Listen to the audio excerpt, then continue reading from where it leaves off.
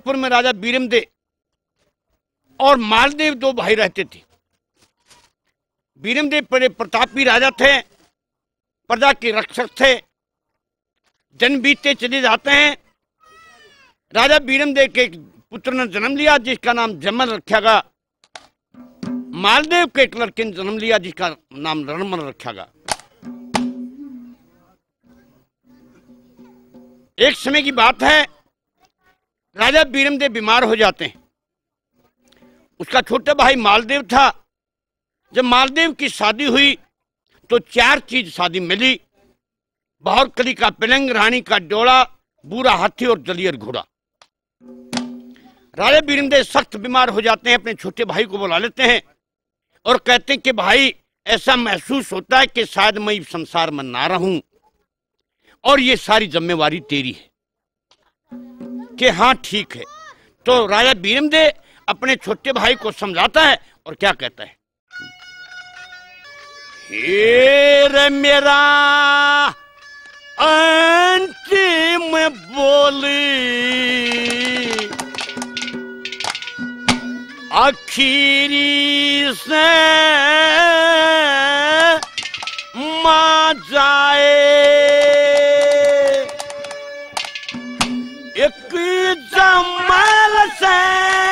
मेरी जान तड़प के मर जाना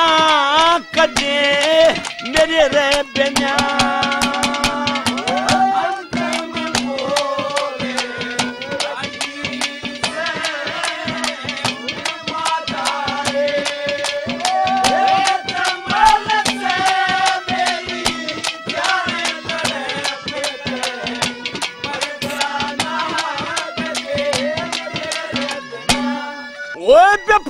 में गोपनी लूटी व्यक्त में हार नंगलगी खुटी।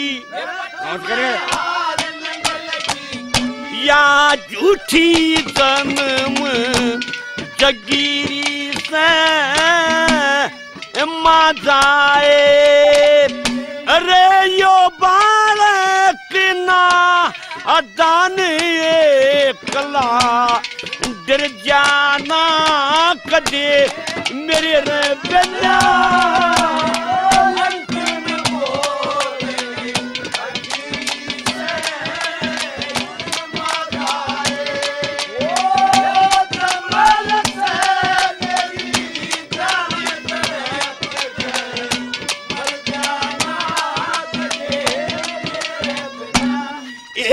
तेरे सिर दिया।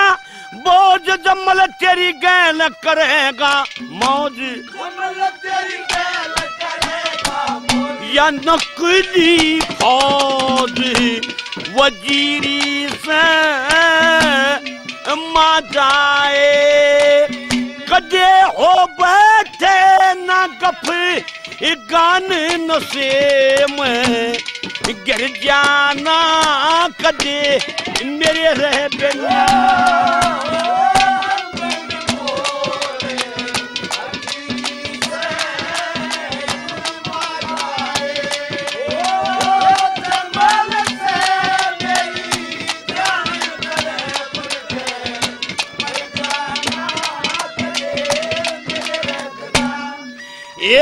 सुन तुम के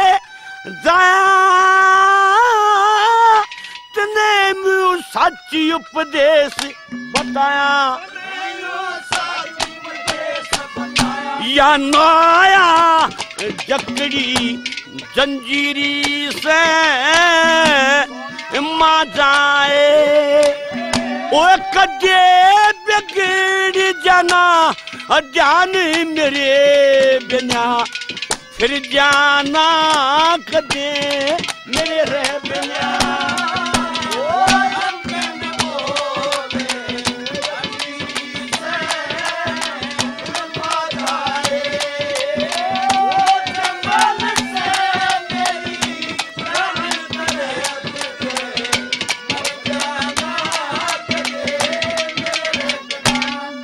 ओ भगत करे जाइए सुबह शाम एक दिन सिद्ध हो जाएँगे काम। मंगे राम गाराए फकीरी से